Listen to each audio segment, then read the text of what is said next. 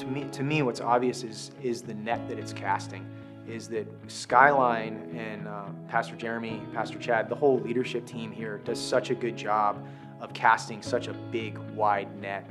The way that this church operates, it operates in a manner of excellence, and it, it really does its mission, which is help people find and follow Jesus seven days a week.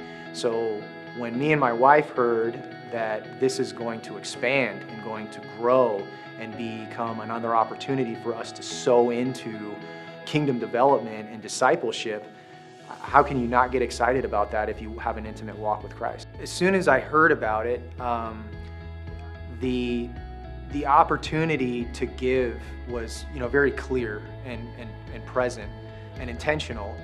I've had a wonderful relationship with, with the Lord. And every time there's been an opportunity to give and I've been reluctant and I've done it anyway, I've been blessed big time.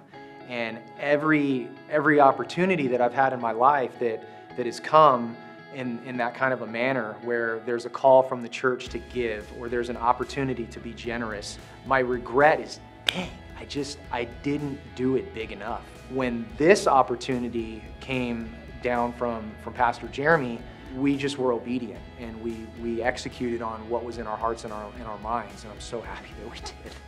I'm so, I'm so happy we did.